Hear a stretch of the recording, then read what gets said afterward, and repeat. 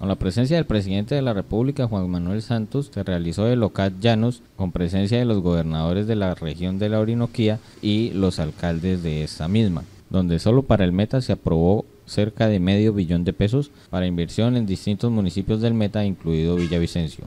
Esto fue lo que dijo el presidente de la República en su intervención en el Hotel Estelar el día viernes. Uno con el departamento del Meta y otro con el departamento del Guaviare. ¿Qué son los contratos Paz? Son los antiguos contratos Plan que se iniciaron con mi gobierno como una copia de un sistema que utilizan en Francia, a través del cual se hacen unos contratos entre el gobierno nacional, los gobiernos departamentales, en el caso colombiano, y los gobiernos municipales. Contratos a través de los cuales se garantiza que las obras que se incluyan van a ser terminadas, que no importa quién esté en el gobierno, no importa quién sea el presidente a partir del 7 eh, de agosto del año entrante, o quienes sean los gobernadores cuando los gobernadores o los alcaldes terminen sus periodos, esos contratos tienen que terminarse. Eso se hizo porque había una cantidad de proyectos, muchos más de lo que uno se puede imaginar, que se quedaban en la mitad del camino simple y llanamente por algo que eh, se denomina el complejo de Adán. Todos los gobernantes tienen la tendencia a decir, que el, el mundo comienza con ellos. Entonces tienen que comenzar de ceros y no continuar sobre lo que ya está construido.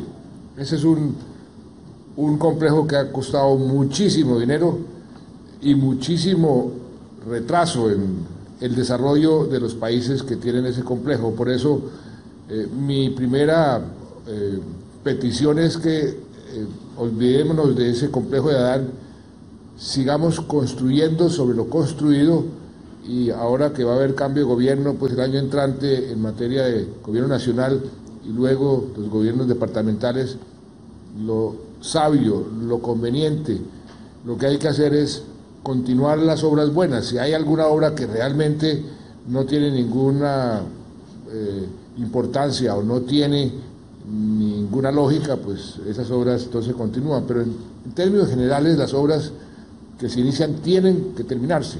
La obra más cara, la más cara es la obra que no se termina.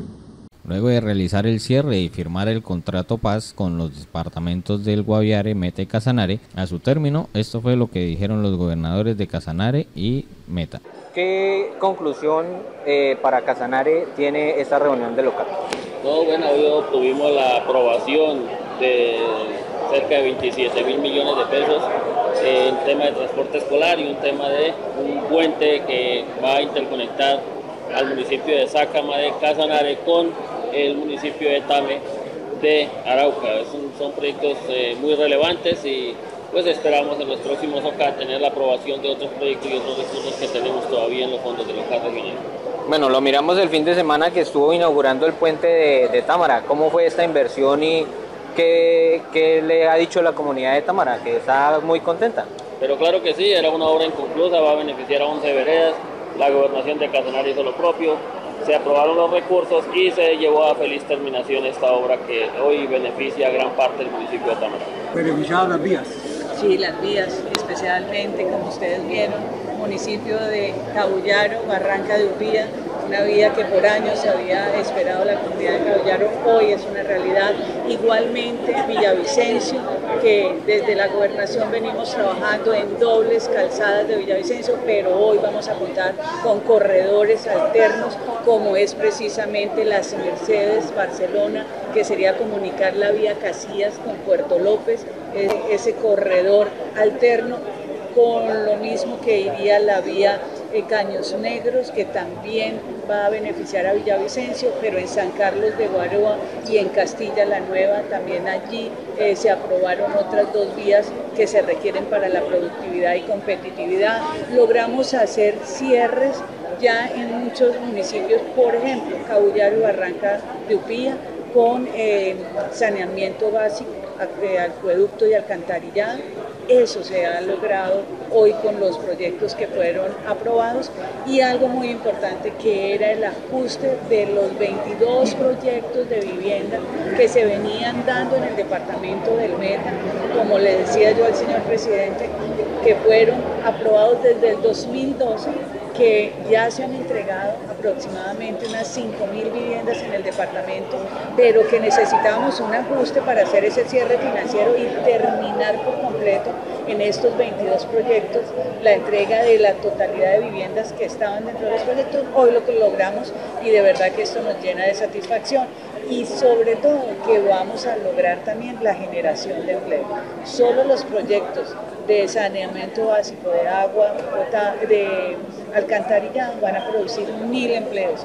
Vamos a lograr también que las vías y corredores hoy aprobados van a generar en el departamento del Meta 520 empleos directos, más los indirectos. Y eso es lo que queremos, lograr generar oportunidades y mover la economía del departamento. Bueno, ahora, entre estos eh, empleos directos e indirectos va a haber mano de obra local, o sea, la mayoría va a ser mano de obra local. Así tiene que ser, toda la mano de obra local y especialmente donde se estén desarrollando las obras.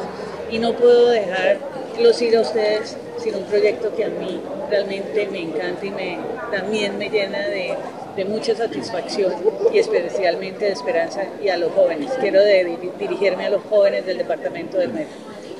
Yo sé que ustedes necesitan oportunidades y por eso para los más pilos, los que sí son conscientes y creen que la educación es la oportunidad, pues hoy fueron aprobados 8 mil millones de pesos que van dirigidos para ustedes, jóvenes del Meta, para los filos jóvenes del Meta, para los que quieran hacer su carrera universitaria, su carrera técnica o tecnológica y que puedan eh, tener esta, una beca que es poder el pago de su carrera y también la manutención. Entonces estamos muy contentos y en esto, eh, la próxima semana les estaremos diciendo a cada uno de ustedes cómo va a ser el procedimiento.